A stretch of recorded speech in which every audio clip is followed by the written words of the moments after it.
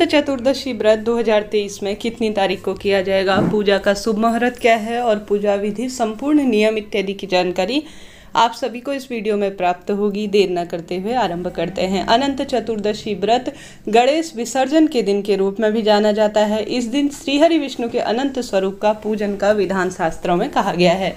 साथ ही मौली की चौदह गांठ लगा हुआ एक अनंत सूत्र भी इस दिन पहना जाता है।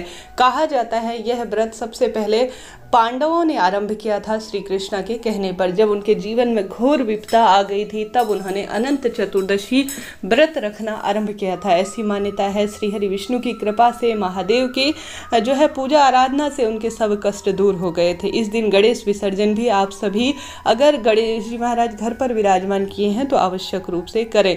2023 में कैसे आपको पूजा करनी है, यह ज़रूर से जान लीजिए। सबसे पहले शेषनाग स्वरूप के साथ आप सभी को श्री हरि विष्णु की प्रतिमा फ़ोटो विराजमान कर लेनी होगी। शेषनाग की पूजा का इस दिन विधान है। साथ ही उनके साथ गणपति महाराज भी छोटे से स्वरूप में विराजमान करें। चौदह धागों का, अर्थात चौदह गांठों का एक धागा भी साथ में विराजमान करें। आप सभी पीले वस्त्र धारण कर कर साफ़ स्वच्छ हो जाए विधि विधान से।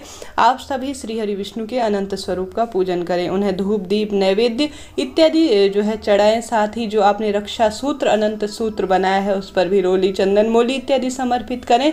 और भोग भोग के स्वरूप में आपके पास जो भी है, सच्चे भाव, सच्चे मन से समर्पित करें। आवश्यक रूप में, रूप से उसमें तुलसी पत्र भी समर्पित करें। ओम नमो भगवते वासुदेवाय। महामंत्र का जाप करें। अखंड दीप लगाएँ विधि विधान से पूजा करें और अनंत चतुर्दशी व्रत की कथा का श्रवण करें। इसके साथ ही आपने जो धूप दीप नैवेद्य दिखाकर विधि विधान से जिस अनंत सूत्र की आपने जो है पूजा कर रखी, उसे अपने हाथ में धारण कर ले। पुरुष जन भी अनंत सूत्र धारण करते हैं, अत्यधिक शुभ माना जाता है। पूरे दिन भर में व्रत का संकल्प लेते हुए प्रभु आराधना में अपना समय व्यतीत करें। शाम के समय अलग अलग क्षेत्रों के हिसाब से व्रत को खोला जाता है। कई भक्तजन सिर्फ़ फलाहार कर कर व्रत खोलते हैं। कई भक्तजन जो है सेंधा नमक युक्त जो कि व्रत में लिया जा सकता है, उससे अपने व्रत को खोलते हैं। कहने का अर्थ है, कुछ व्यक्ति मीठा खाकर व्रत खोलते हैं, कुछ सिर्फ़ फलाहार इत्यादि ही करते हैं। यह दिन श्रीहरि विष्णु पूजा और गणपति जी के विसर्जन के लिए खूब धूमधाम से पूरे भारतवर्ष में बनाया जाता है। इस वर्ष 2023 में कब मनाया जाएगा, ज़रूर से जान लीजिए। सबसे पहले आप सभी को आवश्यक रूप से अनंत चतुर्दशी 2023 में 28 सितंबर दिन गुरुवार के दिन मनाना पंचांग में पूर्ण रूप से वर्णित किया गया है। इस दिन बहुत सारे शुभ संयोग हो रहे हैं। गुरुवार का दिन श्री हरि विष्णु को समर्पित है और दुर्लभ संयोगों के साथ बहुत पावन दिन अट्ठाईस सितंबर का हो रहा है। आप सभी व्रत करते हैं तो इसी दिन व्रत करें। चतुर्थी तिथि कब से प्रारंभ हो जा रही है, यह भी ज़रूर से जान लीजिए। सत्ताईस सितंबर 2023 रात दस बजकर बीस मिनट से चतुर्थी तिथि आरंभ हो जाएगी, साथ ही चतुर्थी तिथि समाप्त होगी। 28 सितंबर 2023 को शाम को छः बजकर पचास मिनट के आसपास स्क्रीन पर भी सभी चीज़ें लिखी हुई है। साथ ही पूजा का शुभ मुहूर्त भी ज़रूर से जान लीजिए।